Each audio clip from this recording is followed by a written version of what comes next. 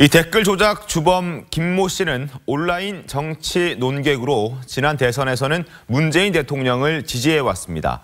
얼마 전 논란이 된 여론 조작 매뉴얼에도 연루됐다는 의혹이 나오고 있습니다. 이다솜 기자입니다. 네이버에서 댓글 추천 수를 조작한 혐의를 받고 있는 민주당원 김모 씨는 온라인에서 드루킹이라는 필명으로 통합니다. 2005년부터 운영한 네이버 블로그 누적 방문객이 980만 명을 넘어섭니다.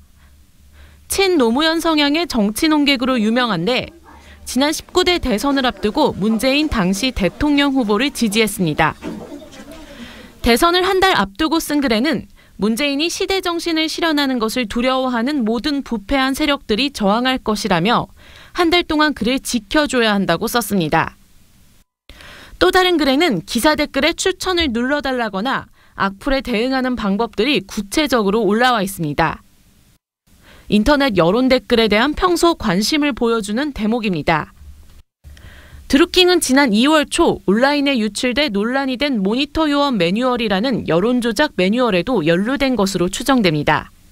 매뉴얼에는 보안 USB를 사용하고 텔레그램에서 작업을 하라거나 댓글 작성 세부 지침이 담겨 있습니다.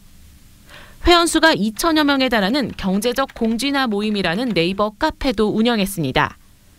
TV조선 이다솜입니다.